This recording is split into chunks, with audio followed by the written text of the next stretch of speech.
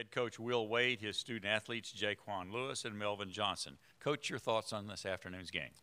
Well, I thought it was um, tale of two halves. I thought the first half we were on our heels most of the half, and, and then the second half we came out and were ultra aggressive and, and, and really played uh, a, a, a good half of basketball, one of our better halves all year. It just took us too long to, to, to get into the, uh, to the flow of it. We got uh, we only gave up two offensive rebounds the entire second half. We gave up nine in the first half to them, and we really pounded the glass in the second half. It just just um, just, just didn't quite have enough. We, we battled back. I'm, I'm proud of our guys. We've been that way all year. We've been uh, resilient, and we've we've always we've always um, you know just just battled, battled, battled. But today we ran into a great team. Uh, unbelievable performance by Hield there down the stretch. Every time they needed a big basket, he uh, he answered the bell. He's a he's a just a, a phenomenal player. Best best player I've I've seen in college basketball. Um, so uh, you know I'm proud of our guys. We just uh, you know just didn't quite have enough. Okay, we'll take questions from the floor. If you put your hand up, we'll get the microphone to you. Who's going to start? All right, on the right hand side, outside. Barry Trammell with the Oklahoman. Melvin, can you talk about uh, what you guys did well defensively against Hield for 30 or so minutes, and, and then what went wrong in the last 10 minutes? Um, I think he just missed shots uh, in the beginning of the game. Corey and Jordan just did a good job at arriving on the catch, uh, forced him to take some tough ones. And I mean, in the second half they did the exact same thing, but instead the ball went in. I mean, he's a great player, so you know, players make plays. Question in the middle on the right side. Coach, can you talk about the job Mike Gilmore did out there? He's someone who hadn't even gotten off the bench and on the brightest stage just went off. Yeah, I. Uh, I'm, I'm, I'm, I'm very proud of him. He's um, he's been through a lot. It's been a rough. Uh, you know, he started for us for the first part of the year, and then he went from starting to not playing. But he's kept it unbelievable um, team attitude, and he deserves something good to happen for him. So I'm, I'm really proud of him. We need to build off this in the off season, and um, I'm, I'm, I'm, thrilled for him. He was, he was, he, he really rose to the occasion today. Got a question on the outside left. Uh, uh, John Hoover, the franchise. Um, the crowd was real, real heavy against you guys. You, you all seem to thrive on that uh, for Melvin uh, you seem to thrive on that in the second half. Yeah, it's fun. I mean, uh, the odds was against us. It was a win-win situation. Everyone pretty much counted us out. So I mean, our backs is against the wall, and when your back is against the wall, you got to do is fight. I mean, at one point, I didn't even hear their crowd, and I told the guys, you know, this is what we wanted to do. We wanted to get, have their crowd against them. It was quiet. Uh, our little 100 fans was extremely loud. That's all I heard at one point. I mean, that's all I could ask for when the opposing team has 18,000 fans in, in attendance. Got a question on the right side. Jequan Jenny Carlson with the Oklahoman. Uh, you guys got so much out of the small lineup in the paint yesterday, and then obvious or the other day, and then obviously Mo and what he's able to do. But they handled you guys fairly well down there. What did you see them doing to counter what you guys wanted to do around the rim? I mean, they're really big and they're athletic, so it was it was kind of hard with the matchups. They did a good job of staying inside the paint.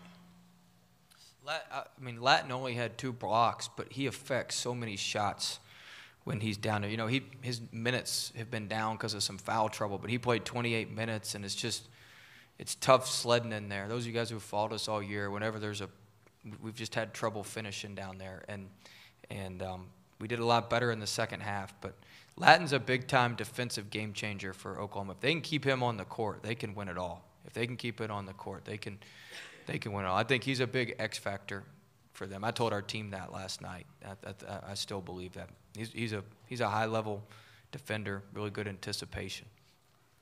Question on the rear, on the aisle. Myron Patton, Fox 25. Uh, Coach and also Melvin, could for people who obviously never had to play a guy like Buddy Hield. Can you explain what it is that makes him so tough to stop when you know they're going to him and he still scores? um, I mean, he's just he can get his shot off in so many ways. It's what I said yesterday. He just reads the screen so well. Um, we got tangled up a couple times down there, and he we switched out, and he read the switch. But the other thing they do is they don't get enough credit for it. I mean, some of those the kids Spangler and some of those other guys like they set really good screens for him. Like they they've got an unselfish team in the sense they set good screens, and they set them. Coach Kruger does a good job. Like they they they get so low and set them at such steep angles. It's really hard to maneuver through them, and he's going to have a little bit of space. And if you give him any space, it's we, we came off and trapped him there at the end just to try to make him give it up. But they, you know, he's he's really good at reading those things. Mel. Um, I mean, he has the, the ultimate green light. So I mean, it's it's it's just hard to guard a player that that makes shots consistently. I mean, it's easier said than done, but you just gotta arrive on the catch and hope he miss at times. I mean, obviously he log in a lot of hours in the gym because, I mean, he shoots shots sometimes when he's not even looking at the basket. As soon as he touches it, he lets it go. So, I mean, it's all in his confidence and I guess his work ethic. We got a question on the front. Paul Woody, Richmond Times Dispatch. Melvin, uh, sorry, this is you just played your last game. You're very clear-eyed. You're very strong of voice. Just wondered if you could talk about your career and what uh, uh, what it's been like for you, uh, how you feel now, and also if you would talk about what you saw in Jequan this weekend and what you think he can do next year. Uh, I mean, I think I had a, a pretty good career, uh, a roller coaster Great ride. career. uh, roller coaster ride, but just uh, coming into this year, I really, uh, I really blocked all distractions, really locked in, and Coach Wade was there. He was a big time disciplinary, hope, making sure I was doing everything the right way.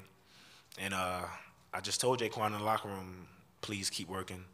He's a big time player, as you can see, and I mean, next year he's going to be extremely dangerous when, you know, he has the green light and he's the leader of this team. He's going to be the voice. He's only going to continue to get better. So, for the most part, Jequan, you know, sky's the limit. So, I just hope they're back in this position next year and going even further. Got a question on the outside right. Yeah, Will, they hurt you early with some with some pick and roll dunks. Is that did you guys uh, were you hedging too much and you had to go back or and, and Well, it sort of stopped after no. that. So what happened? Well, what we, we covered it wrong. So they never throw it with the guy coming off the ball screen. So they always throw it ahead and throw it in. We were supposed to be denying ahead, but we didn't deny the deny the pass ahead two times, so they just got it ahead and in. So they went to it again, but we denied the pass, and they realized we kind of figured out what. But we were we've gone over it in scouting. We just we just we, we, we got confused a little bit, and, and we didn't we didn't do it. But you, they, they don't ever throw it directly. Hardly. They did it one time in the second half. They threw it directly, but we watched a bunch of clips of we watched all their pick and roll. We watched a bunch of their stuff. They they always throw it ahead and in. We were supposed to deny the pass ahead because we wanted to stay with the ball, but we, we, we didn't deny it two times, and that, that that's that's what allowed the dunks. But when they went back to it, we denied it, and then they went away from it. We've Got a question on the front, and then we'll move across the aisle. Shaquan, you had two outstanding games here. Uh, I know it's disappointing to come up short here. Could you talk a moment about what you now do to build on what you did here individually and what the team does collectively to improve on next year? Um, we're gonna take a few days off, and then we're just gonna get ready to move on and get ready for next season. It's not really, not really much we can do after. We have a question on the aisle right here in the front. James Hale, Sports Talk 1400, The Ref. Jequan, in the second half, you guys got into such a better flow. You almost had as many points in the first half. I mean, in the second half that you had in the first half at the 10 minute mark. What was the big difference for you guys coming out of the locker room and in the second half? I mean, our energy. When we came out in the first, second, first half, we was a little slow and going through the motions. But in the second half, I mean, we, we didn't come here to lose. So we all had in the front of our minds that we're going to put up a fight. Got a question on the aisle, and we'll go to the outside. Darnell Myrick, WVCW, for all three of you. Can you say that this season, from wherever you were at back in December and to be here in OKC for the NCAA tournament, can you say that this team has truly over exceeded expectations? I would say we had a very good year. I'd say we had a very good year. We were picked fifth.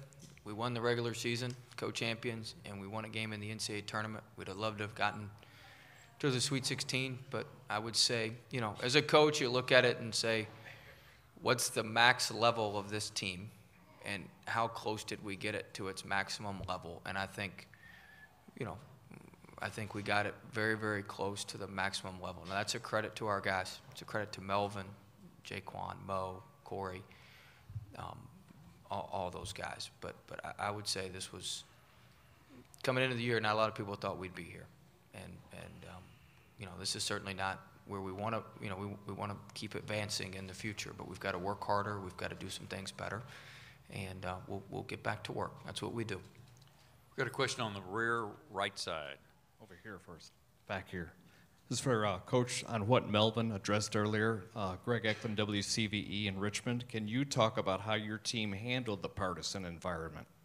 Yeah, I thought we were great. I mean, we've been really good on the road all year. We've really thrived on the road, um, and uh, our guys, our guys fed off that. We knew if we could get it close, I thought the fan, everybody would kind of get nervous in the arena. We could maybe flip it a little bit, but um, you know, like I said, they, they just responded. They got the best player in the country, and, and he made he made huge, huge plays. So, um, but uh, you know, our guys have been great all year in tough environments, and um, we, um, you know, we we, uh, we we responded well today. It's been a characteristic of our team all year. You know, we're down 13 at UMass at half, came back and took the lead. We're down 13 today at half, came back and took the lead. Like we fight. We're tough. We're gritty. We fight. We fight, fight, fight, fight, fight and so we just we just didn't have enough. We just didn't have enough. But but our guys were our guys responded really well in a in a tough environment, really really tough environment. Question on the outside left. Yeah, for, for Melvin again. Um, uh, early in the uh, midway through the first half, it's it's 21-7. It was 15-5. You look at their starting lineup, and they've got seven points, seven points, six points, six points, and five points at that point in the game. Was that something of a shock for a team that has Buddy Hield, the National Player of the Year, 25 points a game, to see that kind of balance? Did that surprise you guys a little bit? Uh, it's demoralizing to an extent because coming to the game, of course, a lot of the attention is towards Buddy, and then, you know, his cast, Isaiah, Jordan, Spangler, etc. They all begin uh, begin to have really well, and he's not. He didn't even score at the, at this point, so we were just like, okay, when Buddy eventually is going to continue to score, but we uh, we're resilient. We we kept fighting. Uh, we feed off coach. Coach, you know, he get after us. He he was extremely enthusiastic going in the locker room, and we just responded. We have a question on the aisle. Hey, Coach Jenny Carlson with the Oklahoman. You talked about the crowd, but um, Jordan steps to the line for two there late, and the crowd just roars. Do you think that was a factor at all with him? No, I mean, you know, we we'd made a bunch of free throws before that, so I mean, um, you know, that's just a, that's just that's the way it uh, that's the way it goes sometimes. That's that's the way it goes sometimes. I mean, he'd stepped up and hit the front end of a one and one a little bit before that, so um, I don't I don't I don't. Uh, I mean, we're, we've been pretty good at blocking that stuff out and hitting free throws. We have a breathing routine and some different things that we do. Just just just just didn't knock them in. Okay, Coach, thank you very much.